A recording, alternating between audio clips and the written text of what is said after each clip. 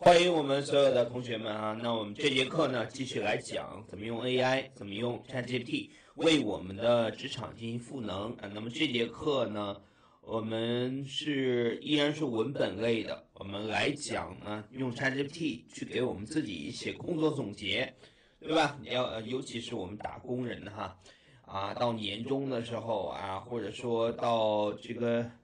季度末的时候，很多时候呢，我们要写工作总结哈，甚至有的企业呢，会以更小的周期为单位哈，有的是半年呀，有的是三个月，有的甚至一个月啊，有的还要写周报，甚至还要写每日的总结哈，这些。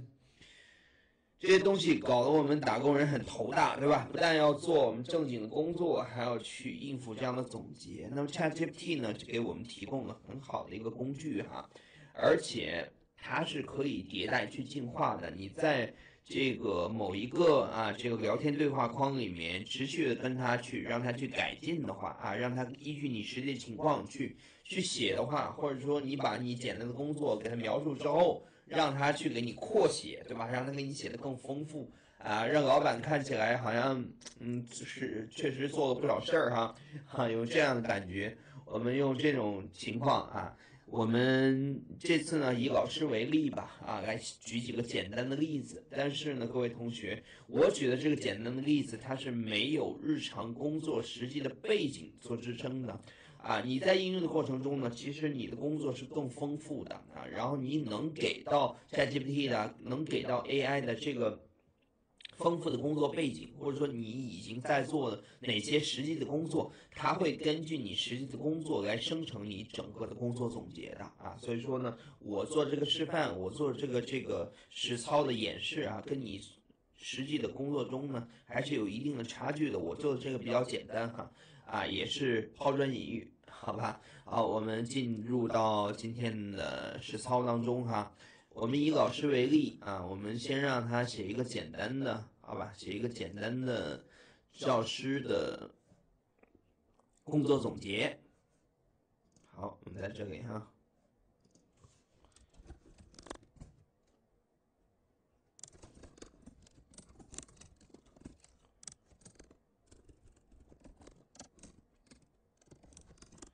其实不加中国也没有关系哈，我们用中文给他提问的话，啊，他其实就是默认我们所在的这个国家啊，对吧？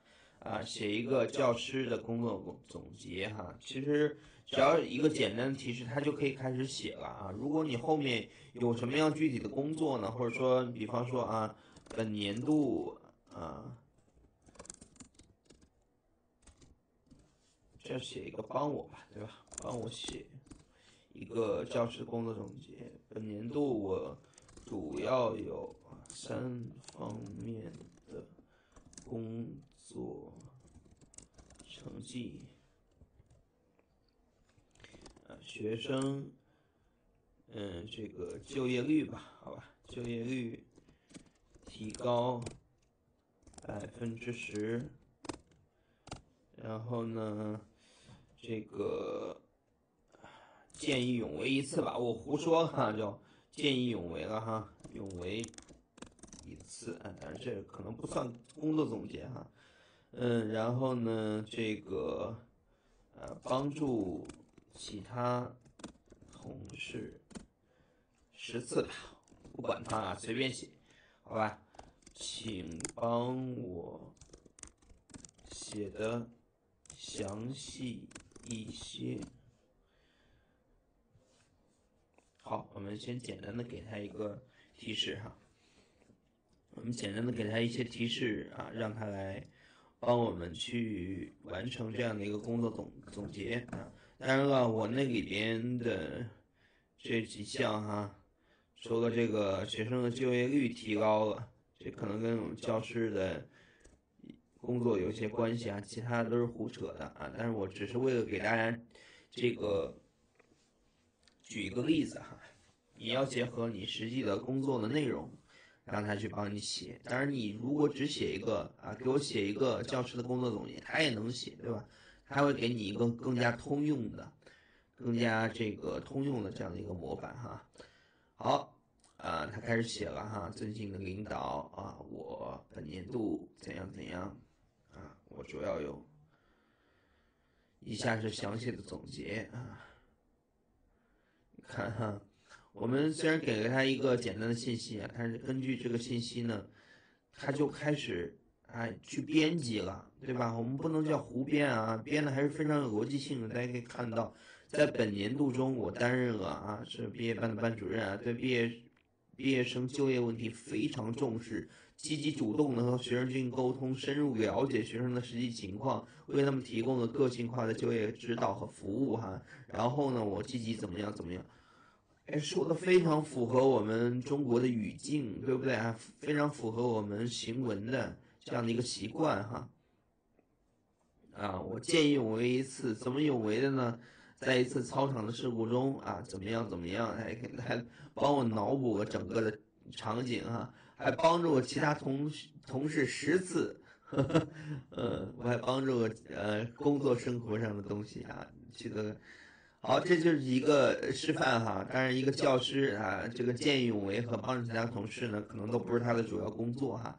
啊，我这样的去写呢，就是给大家一个这个哎简单的提示吧。好，让那我们让他再写一个啊，帮我写一个班主任的工作总结，看他会给出一个什么样的方式哈。其实我们在利用 ChatGPT 也好，利用其他的 AI 也好，去帮助我们去做处理一些工作上的事情的时候，啊，我们可以在同一个对话框内哈，比方说。这有一个啊，我们的对话框，对吧？你你新起了这样的一个对话框呢，以后你有任何有关啊工作总结的这样的东西，都可以继续在这个对话框里面让它去帮你去生成，因为在这个对话框里面，它会记录以前你怎么跟他沟通的，以前你给他个什么样的信息啊，他会继续往下续的啊。如果你另开一个 new chat 呢，就是新的聊天呢。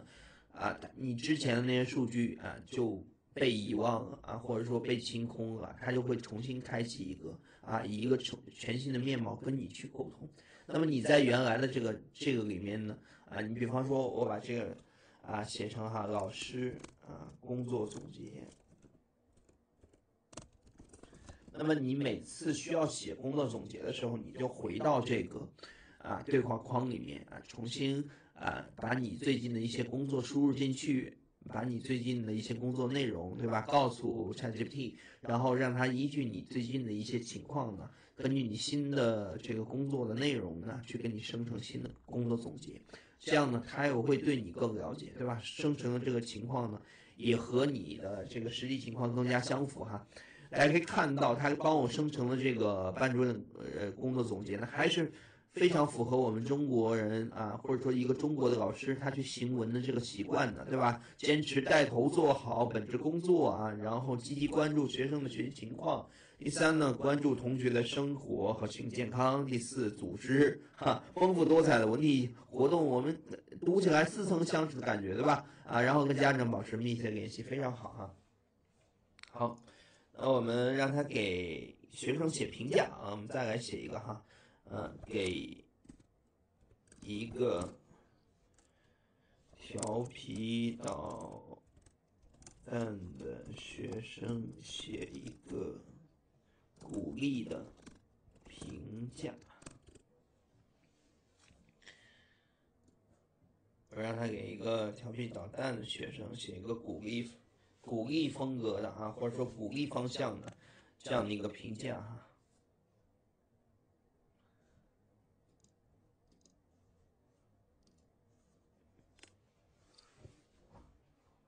好，我们看他会怎么写。其实这个工具呢，对于不仅仅对于老师这个这个职业来说哈，其实我只是拿老师的职业啊进行一个举例，因为大家呢都我们都当过学生对吧？对老师的这个工作呢还是比较熟悉的啊。如果举一个其他行业的话，可能其他同学听起来会比较陌生哈。好，我们看他怎么给的这个评价哈，他这抬头是对家长说的啊。对家长说，对家长说吧。其实我们可以通过啊改变这个指令，呃，去改变他这个前面说话的对象哈。您的孩子啊，怎么样怎么样，表现个好奇心和勇气，喜欢探索啊。但是我希望您知道，我们非常欣赏啊，让发挥他出优势啊，会成为，还是写的非常到位的哈，情商还还可以哈，能打个八九十分啊，能打个八九十分啊，就是这一句有点过于直白了，对不对？在学习和工作中，他有时会有些调皮捣蛋，呃，这个其实可以换一些词语什么的哈。好，那我们这节课就到这里了。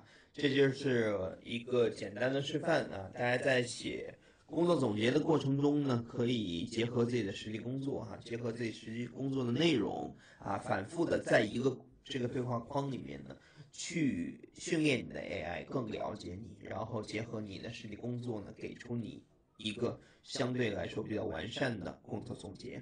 好，各位同学，我们下节课再见。